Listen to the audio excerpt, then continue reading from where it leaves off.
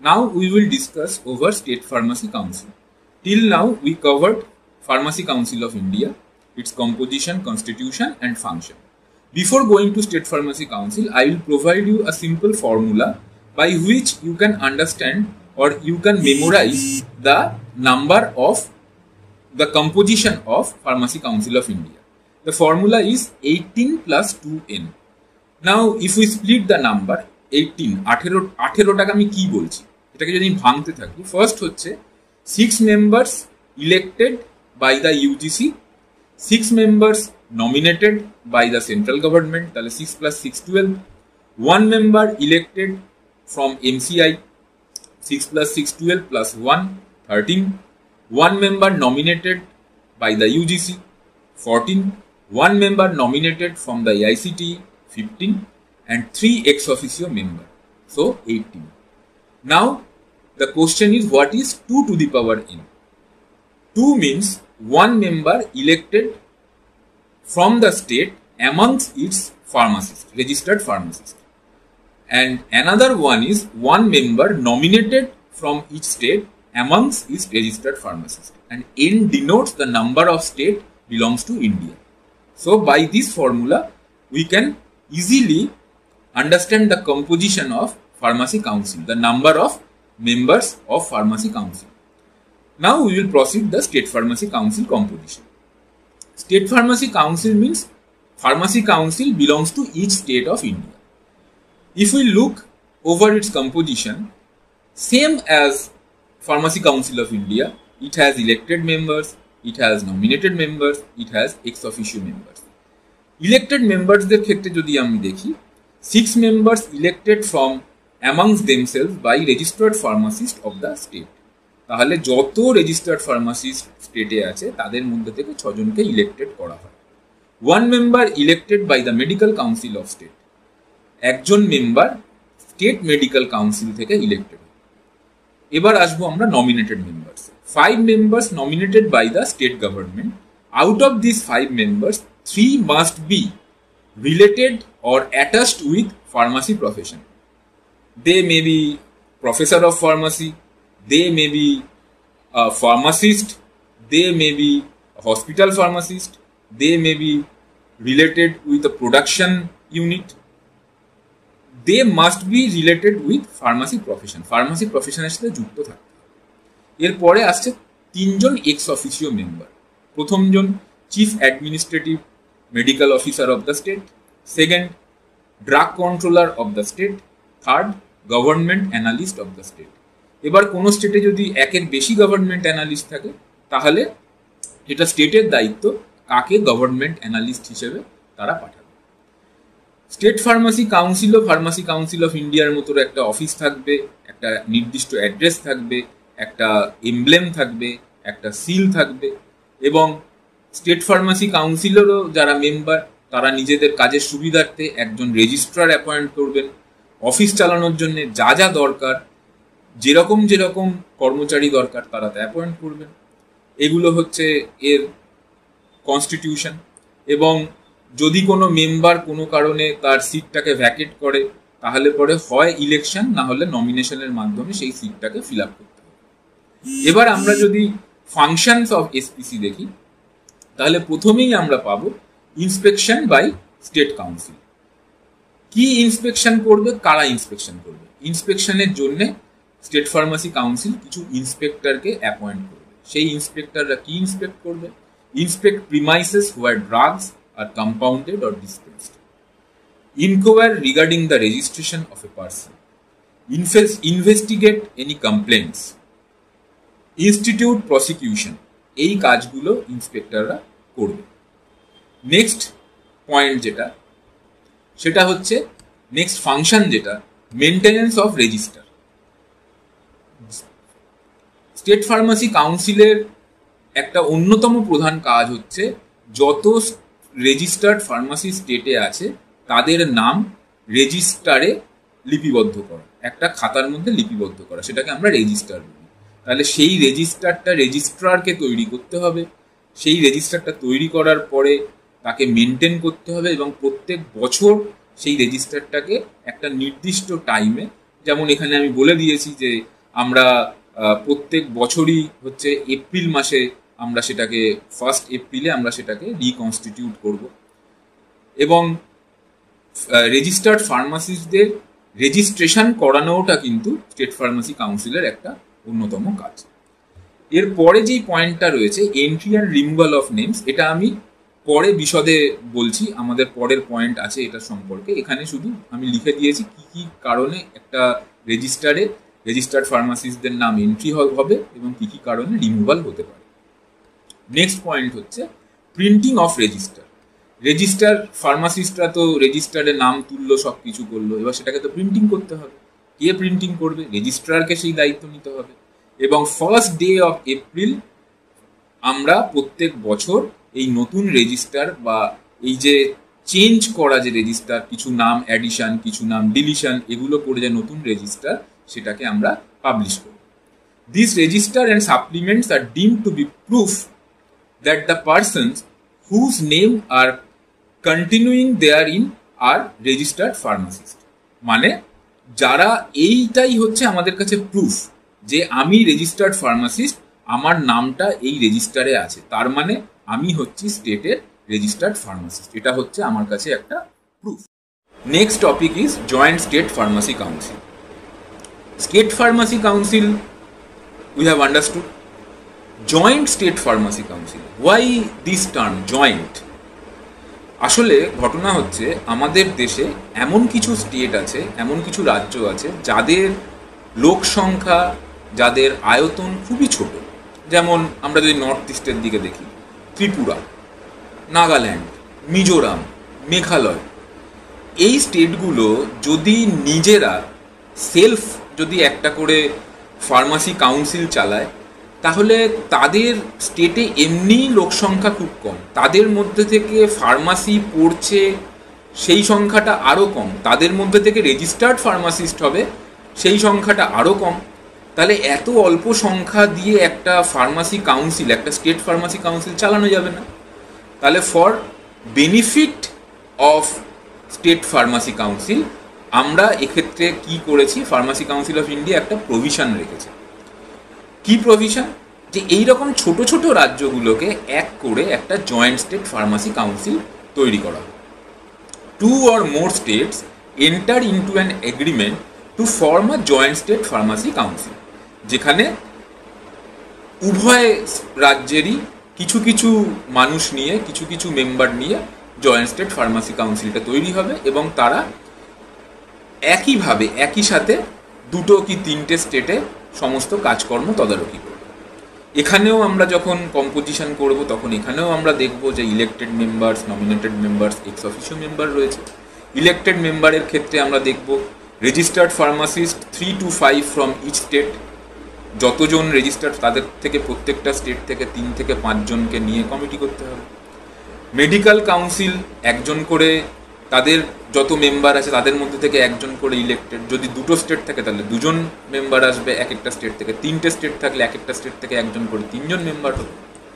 Nominated মেম্বারের ক্ষেত্রে government nominees two to four from each state তারা অবশ্যই ফার্মাসি প্রফেশনের সাথে যুক্ত থাকতে হবে।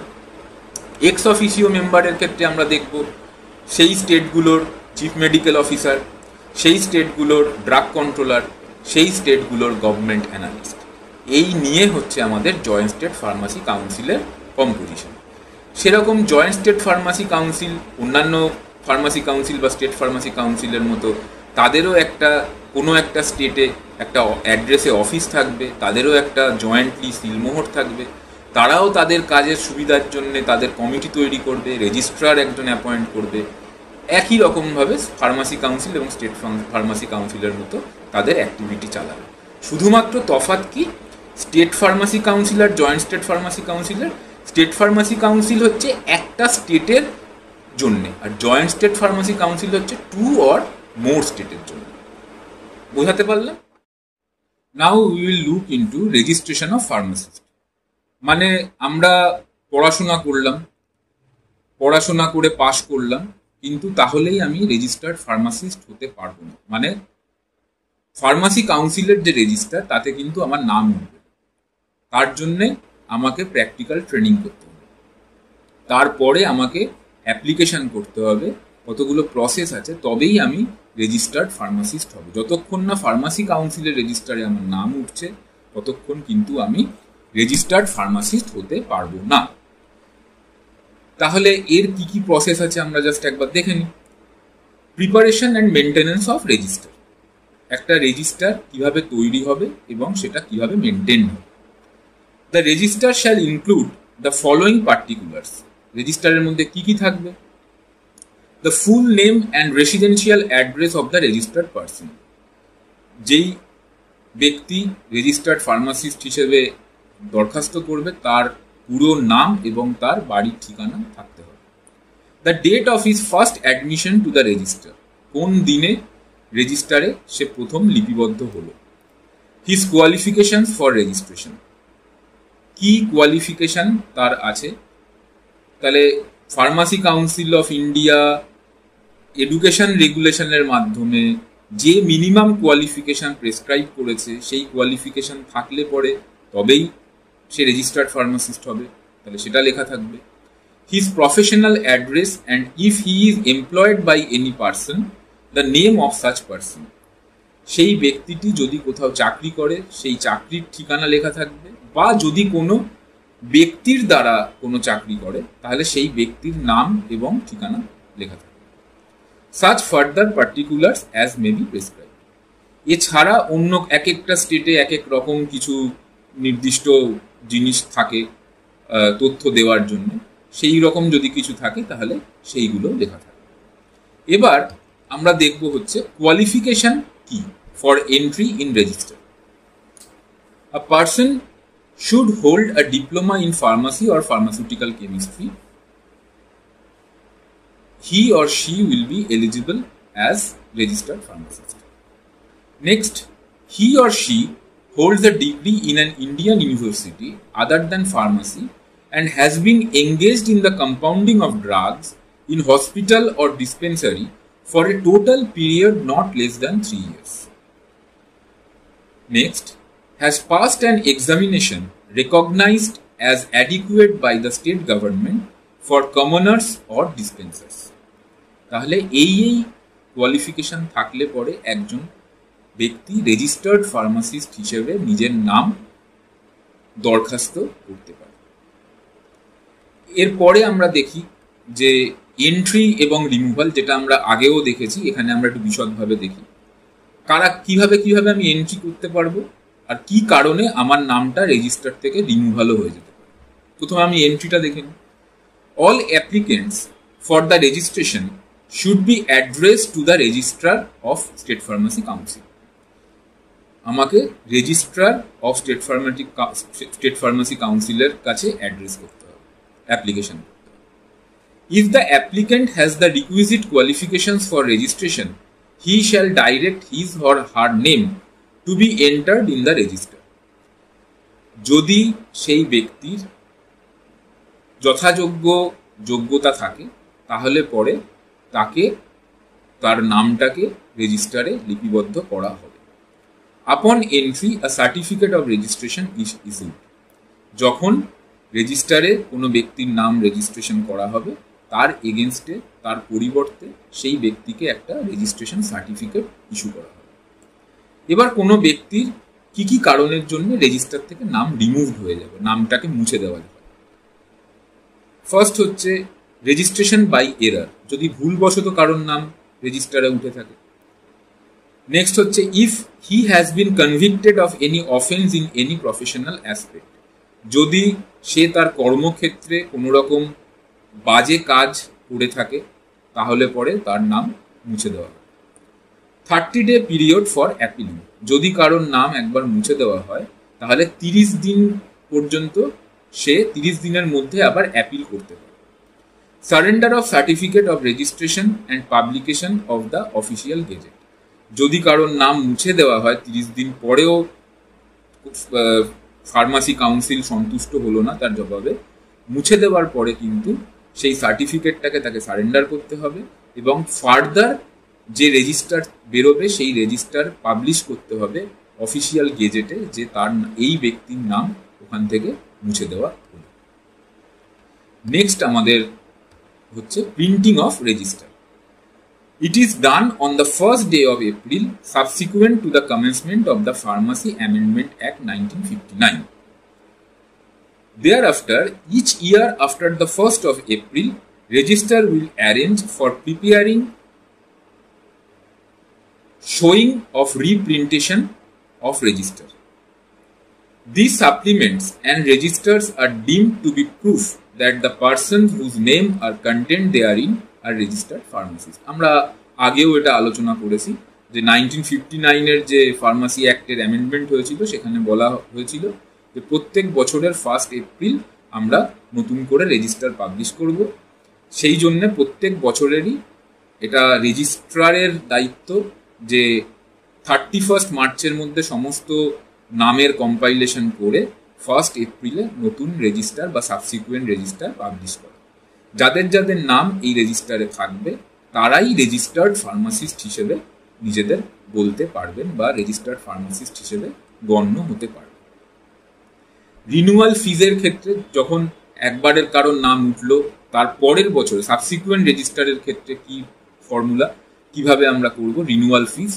The state government by notification in the official gazette direct that for the retention of the name in the register in order to retain the name in the register renewal fee shall be paid to the state government as may be prescribe যেরকম যেরকম এক একটা স্টেটের renewal ফিজ আছে, সেই renewal ফিজটা একটা নির্দিষ্ট টাইমে স্টিপুলেটেড টাইমের মধ্যে গভর্নমেন্ট যখন অ্যানাউন্স করবে, তার মধ্যে জমা করতে হবে।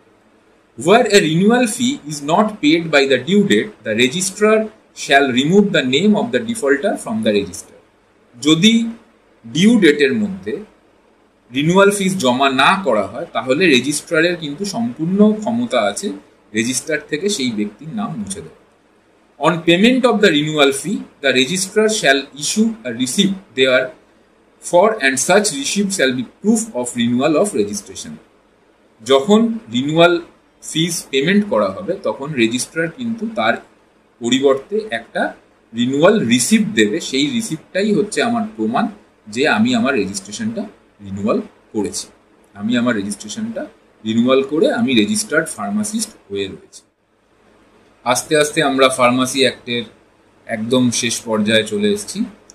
আমরা এখন অবধি সবই বুঝলাম, বললাম, শিখলাম ফার্মাসি অ্যাক্ট কেন করা হয়েছে স্টেট ফার্মাসি কাউন্সিল কি ফার্মাসি কাউন্সিল অফ ইন্ডিয়া কি জয়েন্ট স্টেট ফার্মাসি কাউন্সিল কি কীভাবে একজন ব্যক্তি রেজিস্টার্ড ফার্মাসিস্ট হবে? সমস্ত কিছু আমরা এখন অবধি বুঝলাম, পড়লাম। আমাদের এর পরে হচ্ছে আমরা একটা মিসলেনিয়াস পার্টে আলোচনা করতে পারি যে যে কোনো একটা অ্যাক্ট যখন হবে যে কোনো একটা আইন যখন হবে, তার কিছু অফেন্সেস থাকবে, তার কিছু পেনাল্টিজও থাকবে। তাহলে আমরা সেটা যদি এখন দেখি ফার্স্ট অফেন্স কি হতে পারে? যদি falsely claims to be a registered pharmacist যদি কোনো ব্যক্তি মিছিমিছি, মিথ্যাভাবে নিজেকে রেজিস্টার্ড ফার্মাসিস্ট হিসেবে পরিচয় দেয়, তাহলে তার কি পেনাল্টি হতে পারে? তার কি পানিশমেন্ট হতে পারে? Fine up to rupees five hundred on first conviction প্রথমবার এই ভুল করলে তার পাঁচশো টাকা জরিমানা হবে। Fine up to rupees thousand or six months imprisonment of any subsequent conviction হাজার টাকা অবধি জরিমানা বা ছ মাসের জেল, পরবর্তী ভুলের জন্য। Number two dispensing by an unregistered person যদি কোনো রেজিস্টার্ড মেডিকেল প্র্যাকটিশনারের প্রেসক্রিপশন কোনো রেজিস্টার্ড ফার্মাসিস্ট ছাড়া অন্য কাউকে দিয়ে যদি ডিসপেন্স করানো হয়, তাহলে কি হবে?